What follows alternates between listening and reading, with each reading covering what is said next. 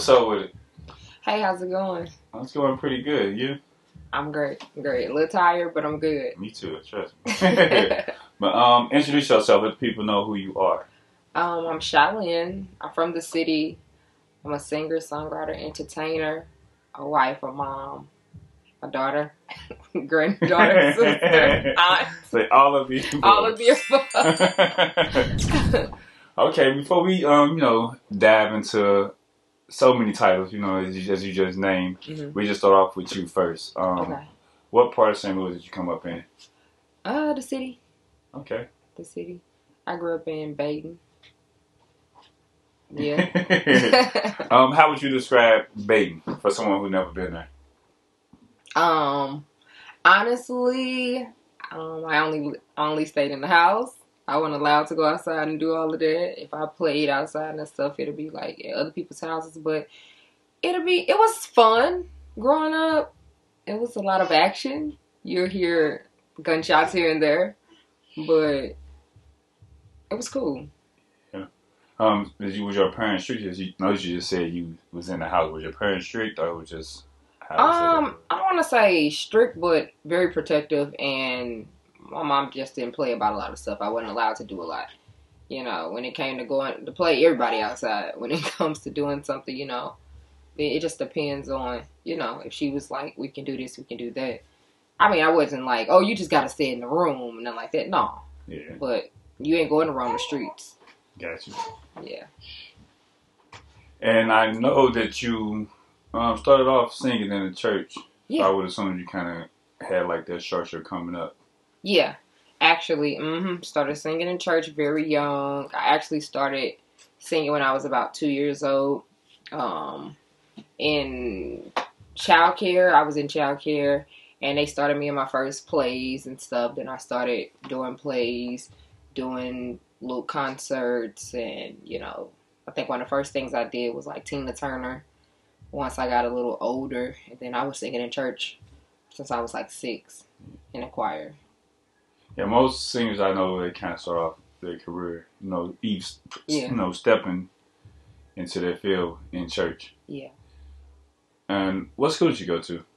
Okay, I went to you want high school, middle school. I just say high school. Okay. You can go down a whole list. high school. I went to Cardinal Ritter for three years, Okay. and then my senior year, I transferred to Hazelwood East. Okay. um, did you move? Like, what was the reason of transfer? Um, track. okay. yeah, that's why I transferred. It was track. I um kind of dug into your background. I would assume that's another passion of yours. I was. Yeah, Yeah. yeah. I was a junior Olympian. Um, I had been running since I was four. Uh, I became a junior Olympian starting at eight. Um, I ran almost everything from the one to two, uh, the four by four, four one, high jump, eight hundred, long jump, and then I became a hurdler full time. So yeah, it was everything. What made you stop? Stop running altogether. Uh, Um, I solely made music my passion. I made it a career once I got to college, and I did like that first year. Like I love track. Um, I had an invitation to go try out in the Olympic trials, but I had sat down and talked to my husband now, you know, uh and we were just like, "This is in college." I was like, "Man, I don't know what to do. Like I'm tired and whatever." And he was like, "You sing all the time." You know, let's work on being an artist. And he kind of like pushed that. I was a little scared. Still am sometimes. But he kind of like pushed that. And then that's how we came up with who I am now. Because I wasn't Shai Lynn in the beginning. got you. I was just me. but that's how we came up with who I am now. So Yeah. Did you get like scholarships or anything like going into college because Yeah. of track? Okay. a lot of scholarships, um, athletic and academic. I had some for basketball, and I'm not a baller, more, more so a shooter. I had some for basketball, volleyball, and track. Track, I had the most. So yeah, Got you. Um, like you said, once you got to college, I guess that's when you fully took on the um. It was it just was you still doing like the church music, or did you go straight into the R and B? um, when I got to college, I was still doing gospel. I was still doing gospel. I have been doing gospel my entire life. Like a lot of times, most kids is able to like. This was even elementary, middle, high. Most kids is able to like leave from practice, leave from games, and go straight home. Sometimes I had rehearsal, so I had to go to church or whatever little group I was in, depending on what we were doing. I, I had to go to rehearsal. So I was doing everything. My work was good, grades is good, but I made sure my mom made sure I made everything. So like, I mean, I never stopped doing gospel. I still sing now to this day. I'm in a uh, an organization that I still sing in, and then I'm a part of this convention. So Still, I remember still I seen other interviews. Yeah. Still, I'm still committed, dedicated. So yeah. That's good. That's good. Um, I ask you this: with you, you know, coming up in the church atmosphere as a singer, starting off anyway, how was that transition to the R and B? Well, you don't really do like the I'll do the typical. yeah. Um, So I started singing background for this artist named Anye. That's what kind of segued the more sexier stuff like that. At the time he was playing for Anye, I started singing background for her, and it taught me a lot. You know, like the way she commanded the crowd and all that. And I'm like, hold on, like how can we turn this into something different? Because most of the songs is about just like family stuff or just everyday life things. And then we got a little more lovey dovey, slightly sexual with like one or two records. It was nothing extra. But her, just the way that she moved, made me want to kind of do some stuff like that. So that's how I got into, that's how I started to transition into that era. I started doing covers like at little open mics and stuff like that. That's pretty much what started me getting into all of that. Gotcha. But he's the writer. My husband's the writer, so Okay. like he like, well, no, you sound good on this, you sound good on that, and then we both have a church background, so it just it makes sense in some instances. Teamwork makes the dream work. Always, Yeah, yeah. Why you steer away from like the sexualization in your music? cause I don't I don't want to be a sex symbol, even though women are perceived that way. Period. I don't want to give them that. Like that's what they want from a woman. Like majority of the audience, I'm not saying males. I'm just saying the audience. They expect the woman to come out and list or do this, blah blah blah. But I just like I like to do what I like to do. Like I don't. I think I'm like rare. I don't really perform in heels. It's not happening. it's gonna be tennis shoes all day. But I just stay away from it. It's just not me. I'm not comfortable. Just being completely honest. If I sing about love or something sexual or something like that, it's gonna be something that I've done. And a lot of times, I don't think you want this stuff like that because I, we can't talk about nothing fake. You don't want to hear my business, but I mean, it's ways to talk about it without actually talking about it. Which I got some records like that, and Gotcha. it, it'll make you think whatever you want to think, but you still don't know what I'm talking about in a sense or whatever. So I just I just try to stay away from it for so many reasons. I'm still a gospel. I still do gospel, but I am a pop artist all day long. So that's just what it is. It's just the way that I present it. Because I have some songs that's a little sexy to it, but it's the way it's presented. People don't really take it that way. uh-huh. Now, if I walked out in like some heels or something, they'd be like, okay, I get it. You know, or it depends on how the dancers or how we doing it when we performing it. So it just all it's all in the presentation of the song. So I kind of like I stay away from it, but at the same time, it's there. If that makes sense. Yeah. And I know um back in what 2015, 2016, you had your skeleton EP. Yep, I know. yep. That was my very first concert. Um, didn't Yeah. know nothing about performing, cause performing in church and performing on this side of things is totally different. Like they big on you got to give them a show. Yeah. You know what I'm saying? Church like, all right, sing, baby. And you could just stand there with your eyes closed and they going to clap for you. Some churches, not all the time, because church people, it's hard. Church, but Skeletons was dope. That was our first production. That was the first time. When I say our, because I'm like under J Nard Music Group. So that was our first thing. I didn't know nothing about performing. All I knew is I just want to be an artist, but I was scared. Uh, we did it at this place that is no longer here anymore. I forgot the name. Deluxe. Uh, that's what it was. oh my changed the god. name though. It's still here. They Yes, changed it's the the C or something. It's some- um, that's what it is. Yes, that's that's the name of it. And we did it there, and we had a packed out place, no room, no standing room, no no sitting room, nothing. My very first show. How was that feeling? Like you just your first show and it just sold out basically. It was nerves because it was just a lot of nerves, but at the same time, I was so excited. I was just like, I know that when I get better, this is gonna get better. and talk a little bit more about Skeleton. Um, track Ghost. The track goes, um, I'll say some lyrics. Where were you when I was starving for affection? So that is geared more towards the father figure. You know, it's just like when you needed somebody so bad in so many areas, it's like I didn't have you. I didn't have you at all. So I made some dumb decisions not having you, or I made decisions out of being angry with you. Um, a lot of times people say I'm there, but you wasn't there when I needed you. You know what I'm saying? Like showing up here and there, that's cool. But like kids, we don't understand it. Like we need you aside from buying shoes, clothes, showing up to birthday parties. Like it's more than that. You know what I'm saying? And I kind of made de- dumb decisions based off of my anger towards my dad at the time. So that's where ghosts derive from. Yeah, and I, with you saying that, I would have never thought it was about like your father. You know, it sounded like Right. more like a relationship based on. Right. Yeah. Cause that's why that's why I say like when we talk about stuff, Uh-huh. it's more so we don't want to gear towards one audience, but that was our perspective in writing it.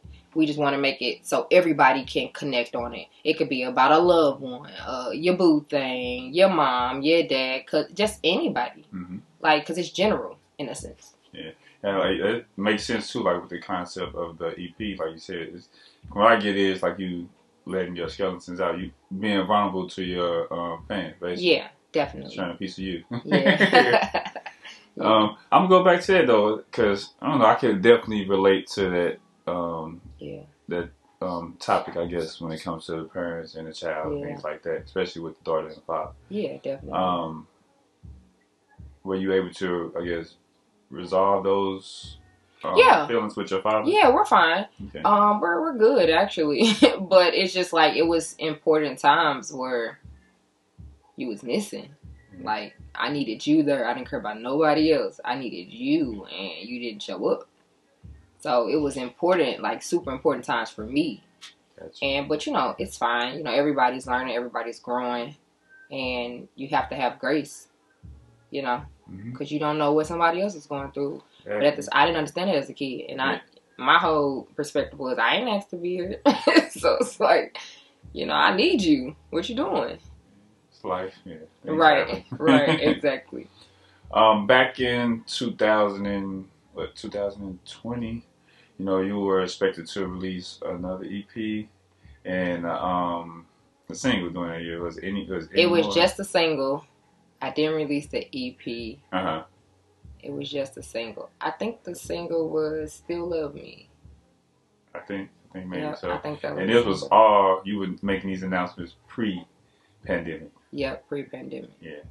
Did the pandemic kind of shape your decision to not making a later choice to release the EP?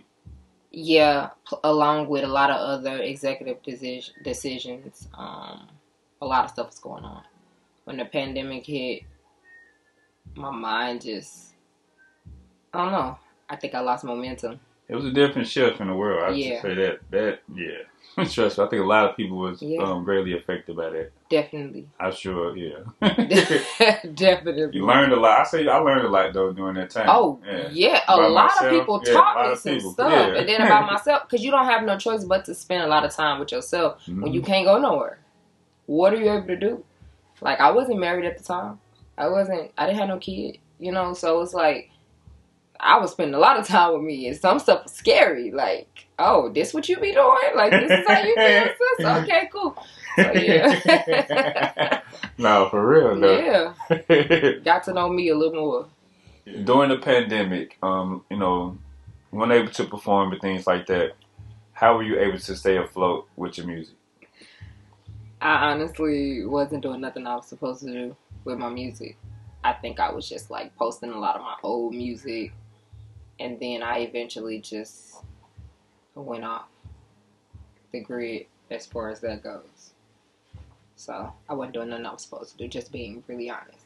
I was doing covers here and there, but then I just really lost momentum altogether. And that's why I'm now at the rebuilding stage because I just start started going through life for me. I stopped putting music first, stopped putting everything and everybody first, and I just really started to dive into who I was and started doing things that made me happy. I mean, the result for everything wasn't good, but you know, it was Yeah, yeah, it was a learning experience during sure. the pandemic. Now I know, um, recently you just did the show with um, Mookie. Yep, Tolliver. Mookie Tolliver. Uh, that was last last Saturday actually. Yep. Last Saturday. Was that your first performance? That was your first performance. You did the um, Cori Bush, and then the national anthem, and then what? Before that, Before that, I did. was it the Strange MB? No, Strings was last year. Gotcha, gotcha. Strings was last year because I was five months pregnant. It was around. It was the same date. How was that? Never again. if I ever got pregnant, I'm not doing. I was like winded, mouth was dry, I couldn't breathe. Like women that perform pregnant, they are gods. Like you are the best. I don't know what to tell you. Did Nobody's Beyonce do something you. like that before? Yes. she She's done it. it too. Oh my god, with all her kids, like she's done it. Me, mm, it's not my thing. Catch me next go round. I think that's why I was like, you know, I couldn't do it at the time. But no, Strings was last year, same time. And then Mookie, let me see. It was Mookie, then let's go back. It was Cori. It was the national anthem on Cori. They was flip flop days. yeah. And then before that, this guy named Terrence had a show that I did. Gotcha. So yeah. How That's- was it? That's what I did. How was it getting back into the shape of thing? Like you said, I believe you haven't performed since what 2019. Prior to It, it's rough. My first performance, I was winded, tired. Um, anything that could go wrong went wrong. Um, the good thing is I was I stayed on key. I stayed on key, and we had a cool show. But everything that could go wrong went wrong. Dance was amazing, band was amazing, singer singers was amazing. It's just it was a long, it was a rough day. Uh, my innards went out, and then I wasn't in shape. I was preparing for a show that I wasn't in shape for. And that I wasn't rehearsing like I should or anything because I'm like, okay, you can get back into it. Nah, I'm a different person. Unless you're just standing there, you know, just sitting there in place, then it may be fine just to jump right back in. But Right. you dancing and Definitely. doing, especially Yeah. singing and trying to dance, man, you definitely gonna be winning. Yeah, and I've gained weight, so it's like it's different. Like my body don't feel the same. I'm trying to like learn this new body, get comfortable in this new body. Also keeping a level head because I guess everybody's saying this is postpartum time, so I'm trying to make sure I'm good on all areas or whatever. But trying to get back into that performance, woo, it's hard. In what way did your daughter change you? Would you say? she made me sweet, sweeter. She made me kind. Forgiveness was more easy. Um, um, I don't know. I just the way I just look at life now. My mom always told me, you know, you have a kid, she's gonna change you. She's gonna change you. But the way I look at life now, like nothing is that serious. Nothing matters that's negative. And I only want positivity around me. I only want what's best because I have a kid to raise in this wicked world. And it, I guess, I don't know why the meaning changed, but I mean, I birthed a whole human, so it's like I have to protect her. Yeah, I, I would say it probably changed because you have somebody who depended on you. Yeah, um, that's that be that's the reason for me for a lot of Right. things. You know, right. you don't want to leave them behind and have to depend on somebody else who not gonna do it the way you gonna do Exactly. it. You're right. Exactly. um, did you see what Diddy Puff Daddy? Well, Diddy um said that you know R and B is dead. I seen it. What are your thoughts on that? I don't agree. Why not elaborate a little more? It's so many dope R&B artists like that's out there. Her, um, Ari Lennox. She's more soulful, but they R&B. Um, uh, Kenyon Dixon. Usher is still performing. Tank is still performing. Um, that's just to name a few. There's a lot of artists. Avery Wilson. Um, it's not dead. It's not dead. People are just looking for raunchy stuff. R&B is still out there. It's still it's still doing what it's supposed to do. Music is still great. People are just in this. I gotta get this quick view on social media that you're not really listening because the music is out there and these artists are putting on like, and that was just to name a few. Jazmine Sullivan, how's R&B dead?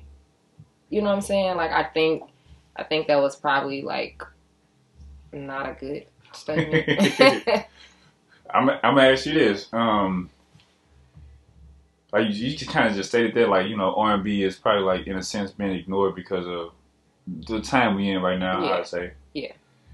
Do you think here in the city that they show a lot of love to the R and B artists? No, they don't show a lot of love to singers unless you famous. But it's like you gonna quit because of that. Yeah, we we're a city of for rappers. I say it all the time. This ain't no secret. St. Louis is a city for rappers. Now they hear you and you can sing, they gonna love you, and that's just what it is. Now, just fully coming to support, no. But I can't say that St. Louis don't support singers and stuff like that. I, what I would say is people support who they want and there's nothing wrong with it. I just feel like whenever you do something, give them something to come to because we have a a tough, critical city. It's really tough here. Like big big artists say it all the time. Mainstream artists they always say St. Louis is a hard city because we'll stand there, we'll look at you sadly. But if you gon' if you want them to come, give them something to come to. That's the best way I can see it.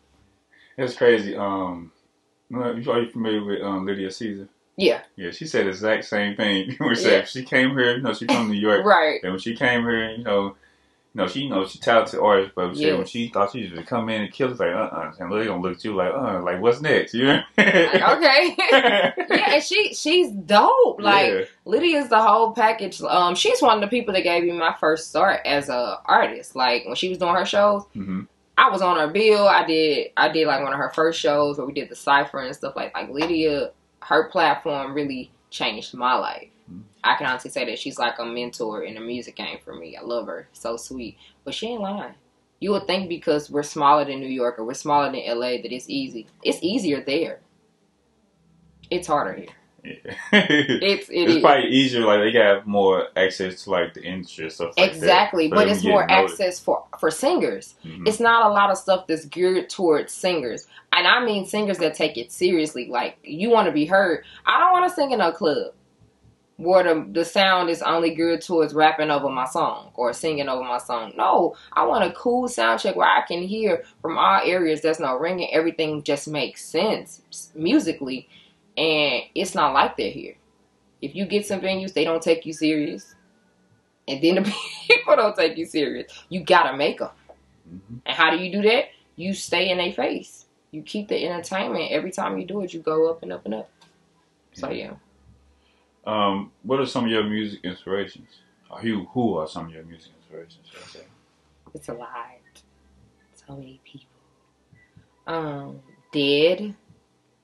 Definitely Whitney Houston, Michael Jackson. As far as performance in certain ways, he does his BGBs. I just think he's dope. Uh, of course, Beyonce. She's like who I kind of patterned my shows and some music after. Um, I like her. I like Jazmine Sullivan, Brandy, uh, Tori Kelly. Um, it's a lot of people. Anita Baker. Um, A lot of um, like what soulful singers. more so soulful. Their tones. Um, I'm big on tonality. I'm big on the the raspiness. I'm big on registers, range. So yeah, it's it's a lot of artists. I don't have just one artist that I listen to. I'm listening to an artist right now called Haley. Mhm. Uh, I don't know if it's Mutan or something like that. She's Caucasian girl, and she's she's dope. So it's a lot of artists. Like it's a lot of artists that they really be having me like, okay, stay on your toes when it comes to this. You know, JoJo too. JoJo Kalani. Like JoJo I'm Siwa? JoJo. JoJo, get out, JoJo. JoJo, like she's dope. She's dope. If I could just name a few of females, but it's a lot. I have a long list like that I listen to every day that I study with. So yeah, Gotcha.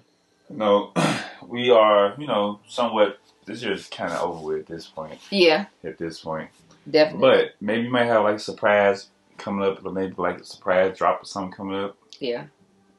Can you hint to it, or you just gonna just throw it out there? So, uh, what I can say, because I don't know what song, but what I can say is I'm about to release a single and I'm coming back. Like, I- I've been saying the comeback, the comeback, the comeback, been preparing for it. But I'm about to release a single. I don't know which song yet, but it's going to get released within the next month or so. If not this month, who knows? Yeah. Well, this month is over. Yeah. So, the next month or so. Um, but it's going to be big. It is. It's going to be big. It's gonna do some things for me. And yeah, I'm excited. I'm excited. And all I can say is next year, the top of the year, more like Marches, look for I said Marches. I just made that up. look for a huge concert. A huge concert. I'm throwing my own concert. Nobody, just me. Maybe an opener, but I'm doing my own thing. And I'm talking about like graphics, moving stages, all types of things. Like, so look for that. But I'm definitely about to drop a single. Um, are you going to release an album or anything? Sound like you say you're working on it. Right? I got I got enough songs for like ten albums. oh wow. So it's just like what makes sense, you know. So I'm gonna be preparing for like an EP, and then after EP maybe an album. Gotcha. So that probably makes sense with the show next year. Everything will probably drop, but I know it's the end of this year. Like you said, um, we're gonna ride the single out as much as we can. Give you visuals, give you covers, but we're gonna give you visuals to the sing- single and all stuff like that. So yeah. Gotcha. Um, one thing I forgot to mention back in 2022, you released where you started the um summertime. Oh, the 2020. I said 22. 2020. 2020. yeah. I did. I started my own uh, boutique. Summertime. It's geared towards. Uh, it's for men, women, children, and all of the above.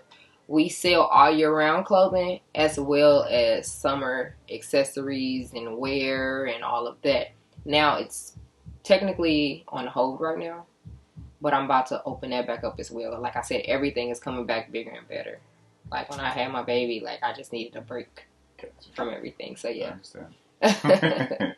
um, that being said, do you have any last words that you would like to share outside of that? Outside of this interview, Outside of everything we just covered. um, only thing I can say is get plugged in with me. That's all I can say because at this moment, it's about to be a life changing experience. Um, things are already up. I ain't able to say too much, but they're about to go further. It's about to be a done deal. I'm not going to be just a St. Louis artist. I'm not going to be just a local artist. I'm going mainstream. So let's get involved. Start coming to these shows or whatever. If you want me on an interview, you know, do all of that. Follow me, support, uh, get the merch, everything, because things are about to change for the better. Let them know where they can follow you at. Okay. Shai Lynn on everything. S H A I L Y N N underscore music on Instagram. Shai Lynn Music on Facebook. Shai Lynn Music on YouTube. Uh, and then just Shai Lynn S H A I L Y N N on all the uh, the music platforms. All right, thank you. Appreciate the time. Thank you.